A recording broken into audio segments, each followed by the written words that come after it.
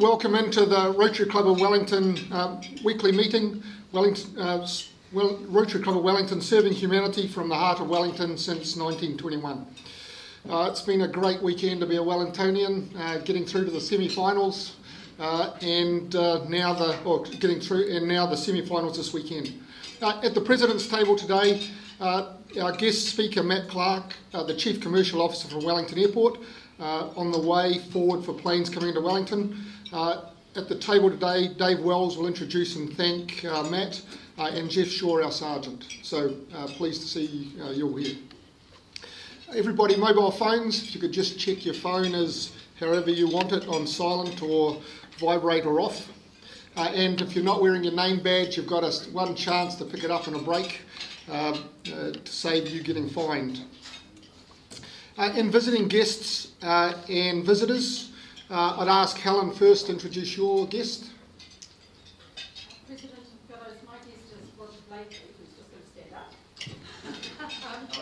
Some of you will remember Roger as Chief Executive of the Ministry of Environment, Department of Internal Affairs and then Porirua City.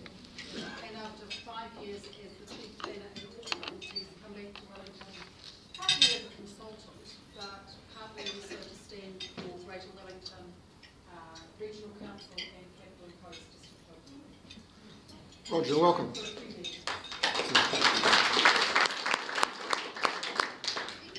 Alexandra, I'd like you to welcome your. Thrilled to have Ms. Anda and Taylor from Tata Industries stand with us. Taylor with me at Open Innovation. Talking to Denise is market director for New Zealand and transportation. So, keen interest in today's um, President and, uh, and fellows, I'd like to introduce David Dunlop.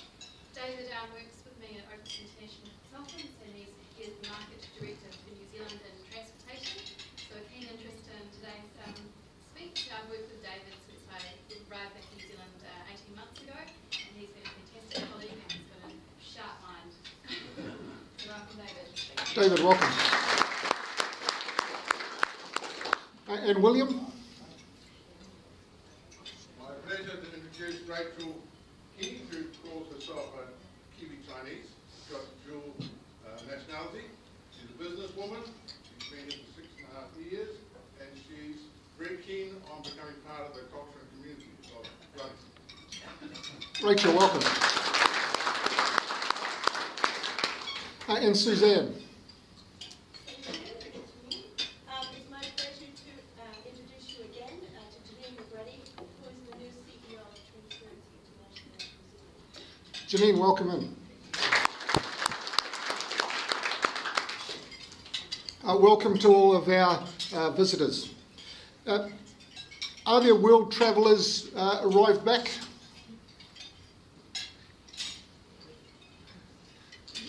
You know what to do, both of you. Uh, and world travellers are departing. And Donna? Could I invite Helen to say grace, please? Fellows, Denzel reminded me that on the Christian calendar today is St James Day. And some of you may know that the relics of St James are buried at the Cathedral of Santiago de Compostela in Spain, the end point of the Camino Trail. So on this day we seek protection for those many members of our club who walk and bike such trails around those who've come home safely, those who are on the trails at the moment and those who are planning their trips.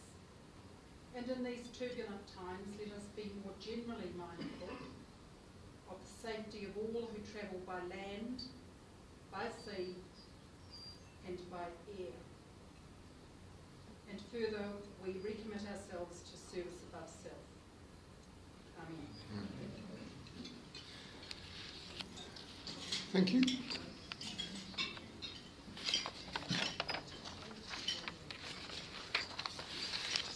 Uh, on birthdays, just uh, three. Uh, Sir Anand on the 22nd, uh, Marion on the 25th, and Jeff Eads on the 25th uh, as well.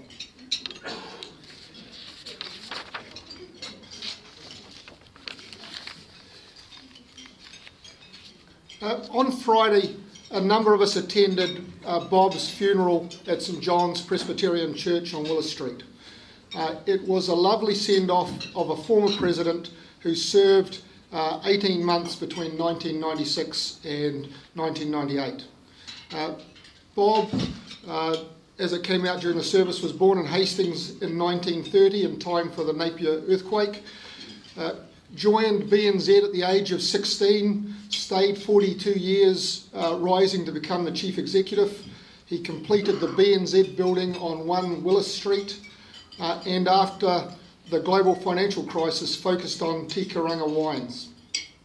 Bob was heavily involved with arts, tramping, wine, the Boys and Girls Institute. Uh, as came out on Friday and today, we'll remember Bob's service with pride. Uh, rest in peace, Bob. I'll now invite uh, Jeff uh, to host the sergeant session.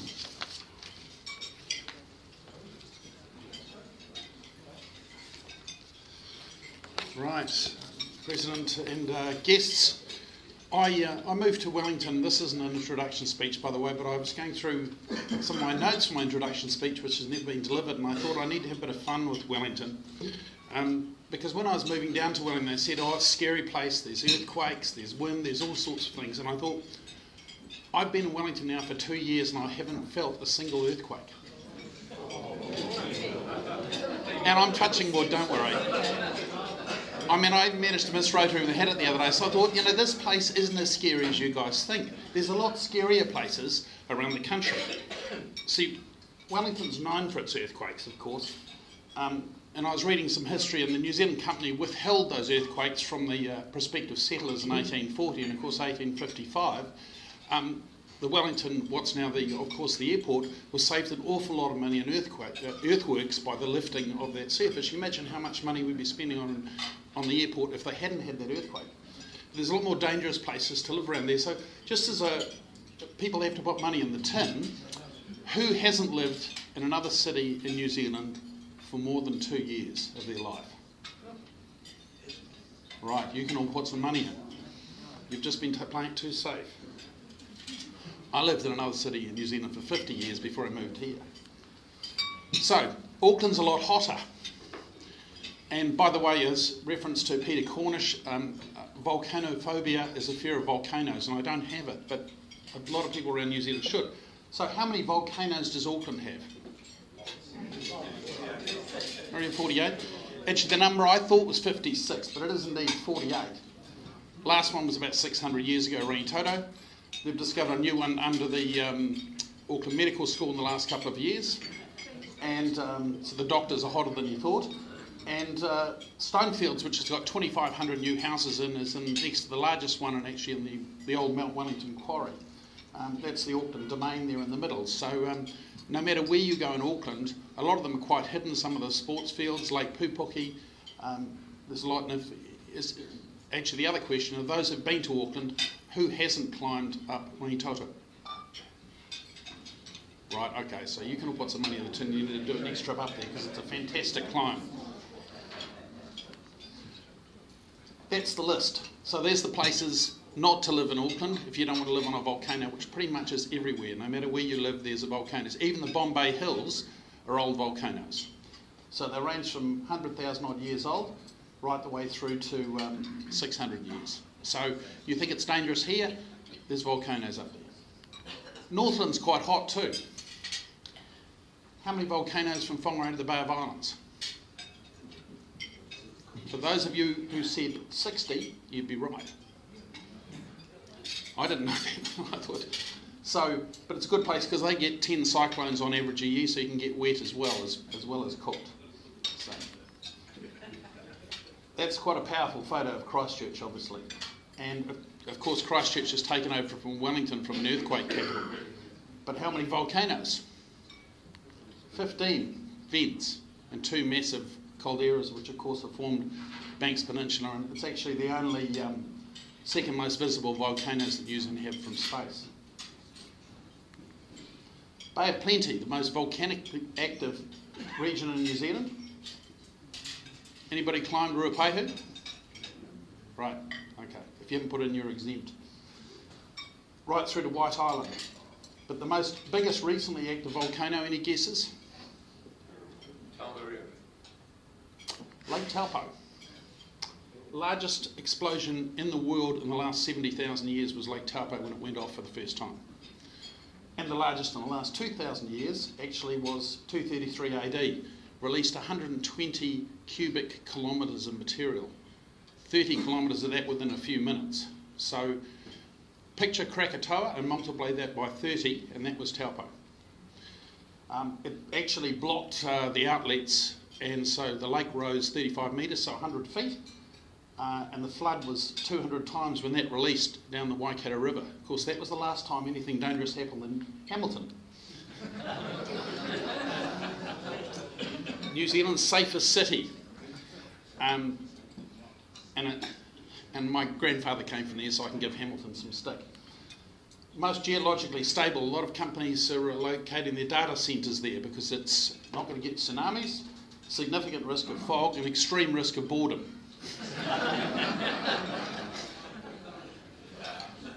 so, has anybody here lived in Hamilton before? Right. You need to put some money in for escaping the place. The only dangerous thing in Wellington for Hamiltonians is extreme hurricanes next weekend. Thank you.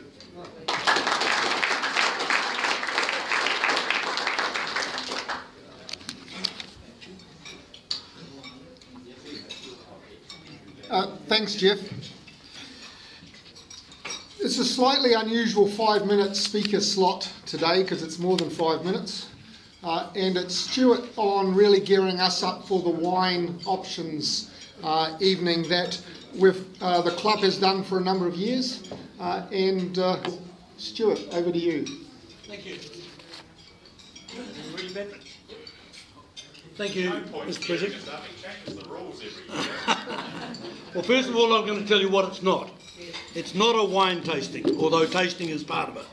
And it's not a boozer, although you do think a lot about wines. In fact, you think a great deal about wines, even if you don't drink a lot. What is it?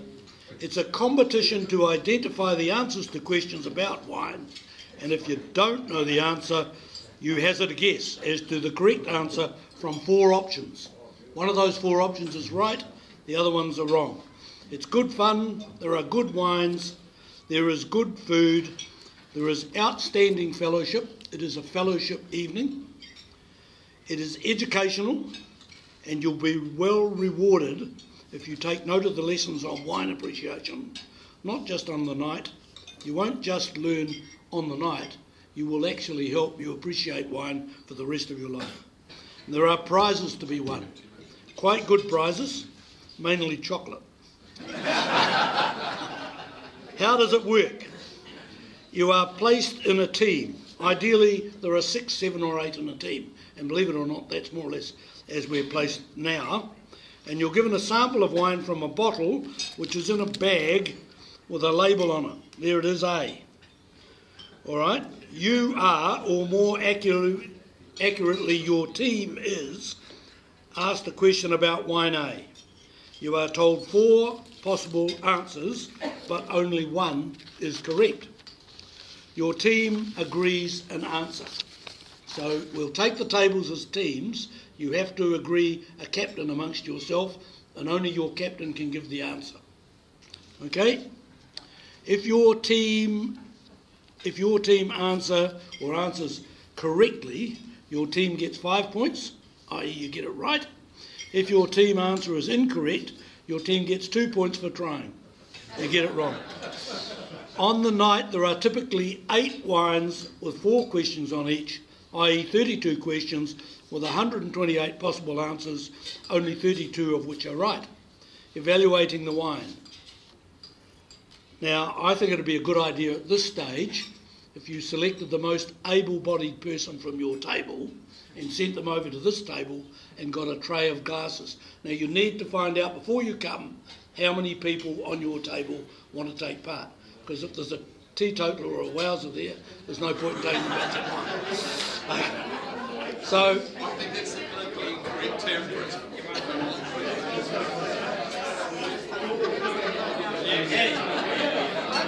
I know this game.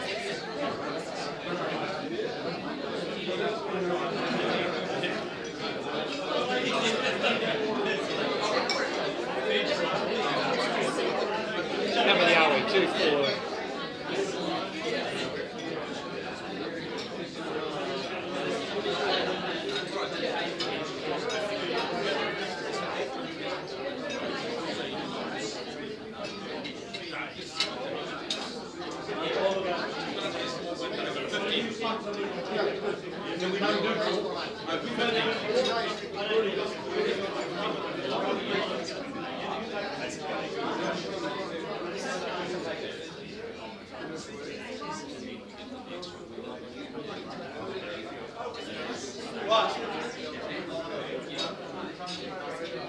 Now,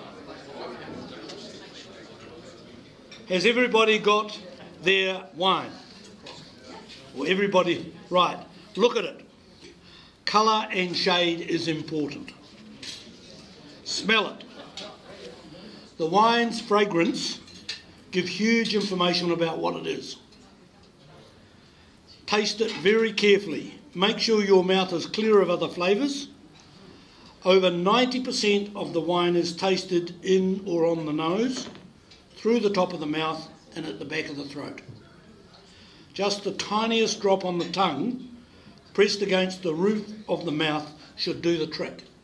Now, you need to realise, of course, that there are wine tasters who go to competitions who taste four or five hundred wines in a day. And they actually virtually have no wine at all. They just have the tiniest smear of wine on their tongue and press it onto the roof of their mouth. And they can actually get all the flavour of the wine. And it really, I mean, people who booze wine ought to be shot. I mean, wine, wine is a beautiful product and every drop should be appreciated. Okay? Now, the more you know about the wines, the more likely you are to win prizes on the night. But it's still great fun, as with almost every question, somebody in the team has the right answer. It's just that the others in the team thought they knew better. We will provide some information, but the simple lessons on the internet are as good a source of information as any. If you look up wine appreciation on the internet, you'll find out everything you need to know about wine very easily. Here's a little practice as to how it works. Please, uh, yeah, I've done all that. Um, look at the wine, smell the wine, taste the wine. Now, between you, agree the correct answer to question one. Now, normally you'd have a card with a colour on it because you don't want the opposition to know what your answer is. So you just have to, you, and we're going to trust you to do this honestly. So you need a captain, and your captain needs to agree for your table what the right answer is. Okay? So you select somebody, have a little discussion, and the answer to question one is Chardonnay, Riesling, Sauvignon Blanc, or Pinot Gris. I'll give you a few seconds. Right. We can't waste. We can't wait too long, or the president will shoot me. Okay, folks. Have you decided? If you haven't decided, hold your hand up. Haven't. If you haven't decided, right, everybody's decided. Have you got the answer there, Patrick? You haven't? Well, I can tell you it's a Chardonnay. Okay? So now you need somebody on your table who is good at numbers. And if you if you got it wrong, they remember the number two, and if you got it right, they remember the number five. Okay? And we'll get on to the next question too. Yep. Does this wine come from Germany, France, Australia, or New Zealand? Now, actually, you can taste continental wines. They taste different from New Zealand and Australian wines. And um, it's going to be a real test of those who think it's a terrible wine because, generally speaking, you can tell the difference between Australian and New Zealand wines for the obvious reasons. German, French wines generally are not as sweet as German wines, but they're all very much generalisations. But on the night in the competition, we, you will have wines with the characteristics quite predominantly, and you should be able to recognise where it came from. So they're all good wines. There's no such thing as bad wine. It's like having bad beer. There's only good beer and better beer. There are excellent wines and good wines, nothing else. Now, so you need to decide whether your team is red, green, blue, or yellow, and you need to decide now. Is there anybody not, any table not agreed? Okay, well, the answer is New Zealand, yellow. So if you got that right, you can add five to your previous total, and if you didn't, you can only add two. And we'll get on to the next question. Here we are. Now, New Zealand, listen, listen, listen. Okay? Yellow, New Zealand. Okay, now you can tell how old a wine is usually by how fresh it is. Okay? So, no wine should be drunk unless it's at least two years old. One year in the tank, and one year or in the cask, and one year in the bottle, I regard as the absolute minimum. There's plenty of bank managers who make the winemaker sell it as soon as he gets it out of the cask because he's got to get the bank overdraft down. But generally speaking, um, you should now only be drinking wines that are, of the 2014 vintage, and that wine will taste very fresh. Okay, one year in the bottle is enough. Two years in the bottle is best, but it's not. There's not much difference between one year and two. After two years, you'd need to be a real expert to be able to detect the difference. Although some, especially some wines, do actually mellow away forever, and certainly there's plenty of wines that actually improved for 20 years, but very gradually after the first two. So, is this really old 2000, 2005, 2010, or 2014? And if you've made up your mind, everybody made up their mind, teams agreed, right, the answer is yellow, of course, 2014. Okay, now add up your points. Is there anybody on 15? Any team on 15? No teams on 15. Any teams on 12? Oh, we're all on 12. Righto. Well, we'll see if the next one will sort it out. Now, where on earth did this wine come from?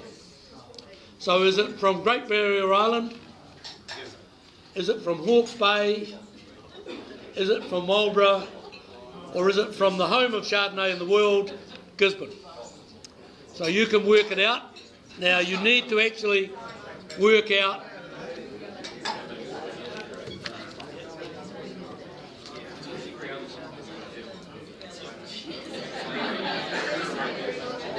Okay, have we all decided? Anybody yet to decide?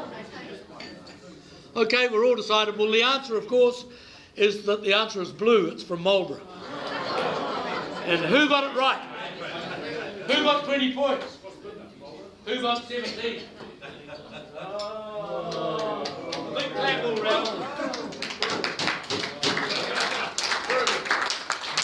the night we have prizes, but um, here we are, are we? That's the captain.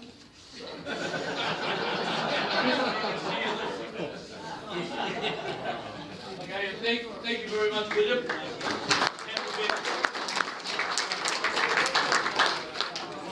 Now, on your table is the yellow form. If you want to come on the night, please put your name on the form with the number who are coming. If you need to go home and discuss it, there's plenty of these around for you to take home to remind you. Thank you. Thanks, Stuart. What is the wine? Oh, what a good question. Here we go. After the question, you can take it on. Century, which is a, which is a, it's sort of a Spanish style where there are no winemakers who grow their own wine. These guys uh, live in Marlborough. They gather up local grapes and make wine. The ones that fall off the truck. Yeah. Century 2014 Marlborough Chardonnay. Thank you, and that should help fellowship time. So enjoy the rest of the wine and fellowship and see you back at one.